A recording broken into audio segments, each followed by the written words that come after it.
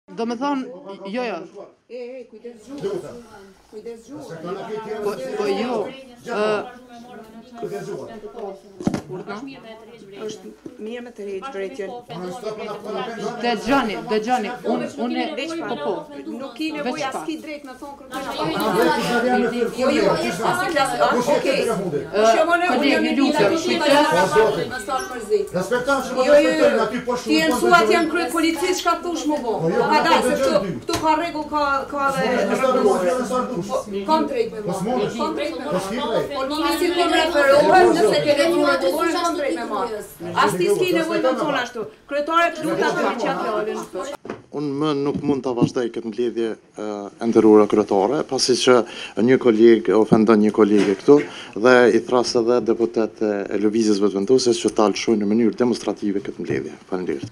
Nuk e kam ndërmend me ta kthy fjalën asnjëherë, ato që i thom kam bazë. Ne jemi deputetë këtu që e respektojmë njëri tjetrin, po jem tu prit të gjithë në çdo takim, në çdo takim, fal, të lutem, fal, prit. Në çdo takim jemi tu prit, e njëjta e merr fjalën çdo herë.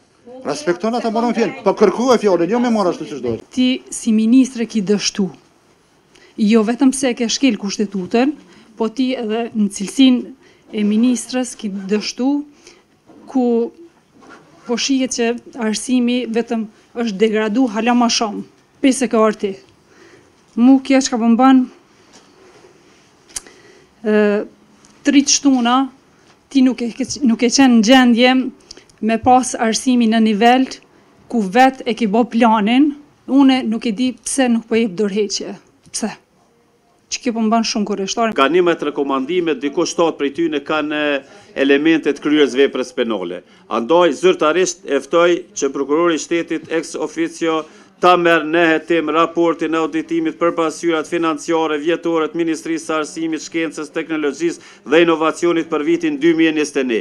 Ka pas mbivlerësim edhe te qendra e studentëve në vlerë prej njëqind e katërdhjetë e shtatë mijë e shtatëqind e pesëdhjetë e një euro. MASHTI gjithashtu ka realizuar pagesa prej njëqind e katërdhjetë e dy mijë euro për tridhjetë e dy punonjës të komunitetit serb, sipas marrëveshjes së Brukselit, të cilët nuk evidentohen për vijueshmëri në punë dhe nuk zhvillojnë asnjë aktivitet në ministri. Sipas raportit të auditimit, edhe pse domethënë është raporti për vitin dy mijë e njëzet e një, megjithatë në raportin e ZKA-së ceket që në muajt shkurt edhe mars, Ministria e Arsimit i ka largu këta zyrtarë prej listës së pagave pas reagimit nga ana e zyrtarëve, është thënë ekipit të auditimit që është mrri një farë lloj dakordimi me zyrtarët, këta janë kthy në listën e pagave dhe janë pagu në mënyrë retroaktive.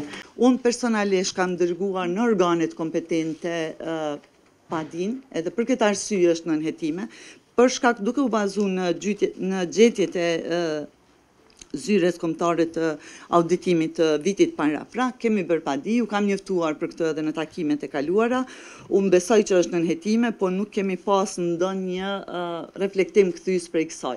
Në këtë situatë, në pamundësi që si Ministri e Arsimit të sigurohemi për të përmbushur obligimin, që t'ju krijojmë hapësirat e punës në zyrat e institucioneve me veprimtari në veri, ne jemi siguruar që t'ju kërkojmë punë dhe raportim të rregullt.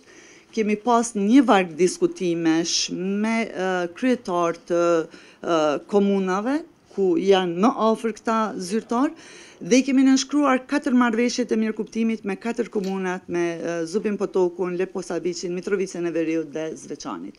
Në bazë të marrëveshjeve të mirëkuptimit që i kemi nënshkruar, këta zyrtarë tashmë e kryejnë detyrat e punës më afër vendbanimit të tyre të përhershëm, raportet i kanë të rregullta në ministri dhe në bazë të punës që e kanë bërë dhe marrëveshjeve të arritura ne i kemi realizuar pagesat.